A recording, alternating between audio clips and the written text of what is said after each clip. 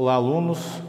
Sejam bem-vindos. Eu sou o professor Erivelto Fontana de Laarte, sou responsável pela disciplina de Projetos Pedagógicos Integrados no curso de Licenciatura em Educação Física e estou aqui para apresentar a nossa disciplina de Projetos Pedagógicos Integrados para vocês. Bom, a disciplina é uma disciplina bem diferente do que vocês viram até agora.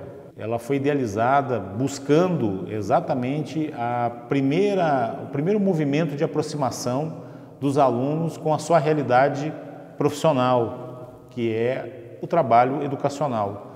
E com isso ela ganha um peso muito grande porque ela sustenta os conteúdos que foram passados é, para vocês aí nas, nas diversas disciplinas que vocês tiveram até aqui, com uma parte mais prática de contato com a realidade que vocês verão na sua profissão.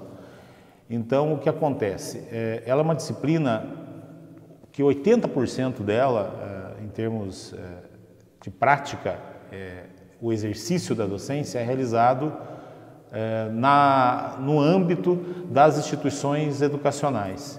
Então, o que acontece? A disciplina visa essa aproximação, visa esse contato de vocês, alunos, com as instituições. Então, basicamente, é organizar eventos edu educacionais, de gestão educacional, é, que possam propiciar essa aproximação. Então, ela foge de uma característica mais teórica, é, ela tem uma parte que a gente vai comentar aqui, mas ela, ela tem uma, uma, uma predominância lá num momento de interação com a comunidade escolar, que é o grande intuito da formação de docentes nos dias de hoje. Então, para que isso se realize, eu fiz uma divisão aqui da disciplina em quatro unidades.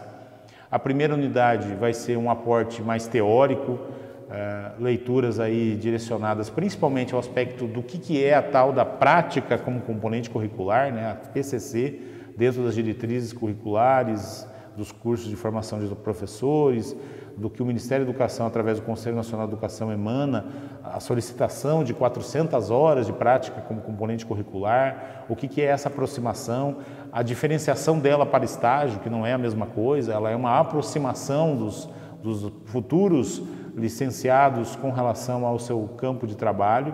Então, isso a gente vai discutir na primeira, na primeira unidade, até com textos mais específicos da área da educação física, com a prática como componente curricular, e textos mais gerais sobre prática como componente, componente curricular, já que ela é uma, uma questão discutida dentro de todas as licenciaturas.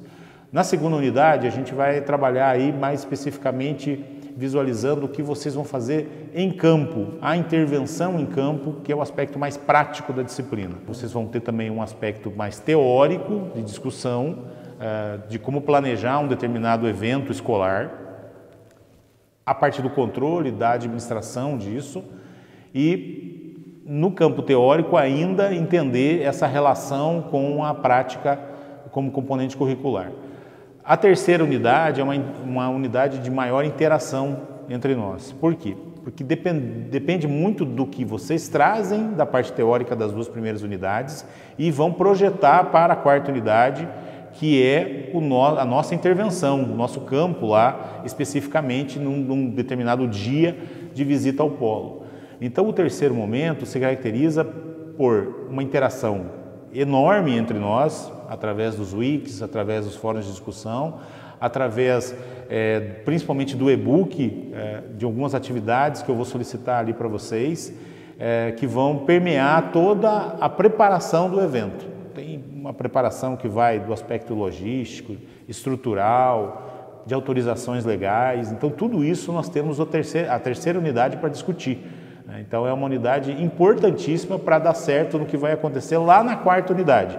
A quarta unidade é a interação direta com os alunos em idade escolar, com a comunidade, com a infraestrutura que vocês passaram lá na terceira unidade, de uma maneira prática. Então, a quarta unidade é o polo, é a visita no polo do professor, juntamente com toda a, a, a, preparação que vocês fizeram na terceira unidade, aquilo que vocês trouxeram de discussão de matriz teórica da primeira e da segunda unidade, a gente coloca em prática na quarta unidade.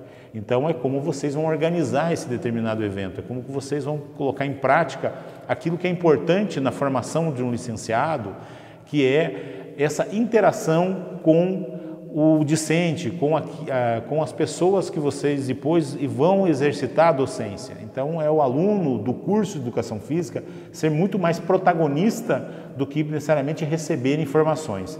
Ali talvez seja, dentro do curso, o primeiro momento que vocês vão exatamente estar de frente com o público que vocês vão atuar de uma maneira profissional. Então é onde ainda a gente, a gente pode dar vazão ao, a várias dúvidas, aos, aos, conflitos, às angústias que estão na formação é, de um profissional ali da área da educação. É, é nesse momento. Então, tenho muita tranquilidade na hora do planejamento para que tudo ocorra bem na quarta etapa, nessa quarta unidade, que é o nosso trabalho em loco lá de um determinado evento. Esse evento eu vou explicar melhor aí é, na próxima videoaula, mas é acima de tudo ter o compromisso, principalmente social, com um público é, que precisa dessa interação com a própria universidade. Então é muito importante na formação hoje nós termos essa total sintonia com as pessoas, com as crianças, com os adolescentes, com os professores das re da rede de ensino, com os profissionais que nós vamos atuar na área da educação. Então a disciplina como falei, finalizando, ela foge um pouco do aspecto tradicional. Ela é um grande exercício de aproximação da formação com a futura intervenção profissional. Muito obrigado a todos e até a próxima.